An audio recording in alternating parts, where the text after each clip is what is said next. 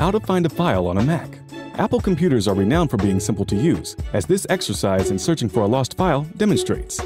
You will need an Apple computer and a Mac OS X operating system. Step 1. Click on the magnifying glass icon found along the top strip in the upper right-hand corner of your screen. Step 2. Open the Spotlight window and type the file name or some part of it there. Step 3. Read the drop-down menu that appears. Categories such as Definition, Documents, Folders, and Messages on the left list their contents on the right. Spotlight is not case sensitive and will instantly attempt to connect anything in your computer that might contain a clue. Step 4. Pass your cursor over Top Hit or any files on the list. When the yellow dialog box appears, it displays the path back to the file you need. Step 5. Click on the file you're searching for, which opens up on the desktop, or scan the folders, which reveal their paths.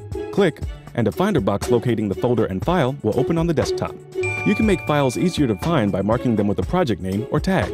Step 6. Highlight the hard drive icon for your files or your assigned category under Places if you're unable to find them any other way. Open folders and files here one by one. Did you know? Apple Computer took its name from Apple Corps, the Beatles company.